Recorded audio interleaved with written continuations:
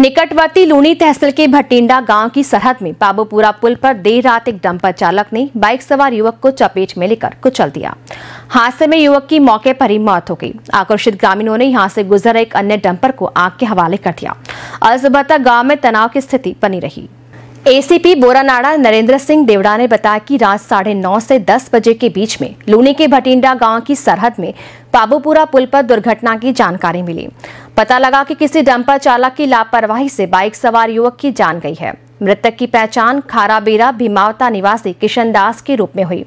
इधर दुर्घटना की जानकारी पर ही कई ग्रामीण वहाँ एकत्र हो गए। एसीपी नरेंद्र सिंह देवड़ा ने बताया कि शव को वहाँ से हटवाने की कार्रवाई चल रही थी।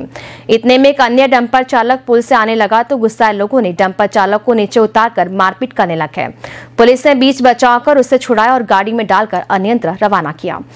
इस बीच गुस्साए लोगों में किन्हीं असामाजिक तत्वों की तरफ़ से इस डंपर को आग लगा दी गई, जिससे डंपर जलकर नष्ट हो गया। एसीपी देवड़ा ने बताया कि एक बार की वहाँ तनाव वाली स्थिति बन गई थी, मगर मौके पर मौजूद पुलिस ने जैसे तैसे मामले को शांत करवाया गया।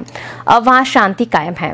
पुलिस ने घटना में दो प्रकरण दर्ज किए हैं। एक प्रकरण दुर्घटना में मौत और दूसरा प्रकरण डंपर चालक की तरफ़ से अज्ञात लोगों के खिलाफ दिया गया है, जिन्होंने उसके साथ मारपीट की और डंपर को आगे के हवाले कर दिया।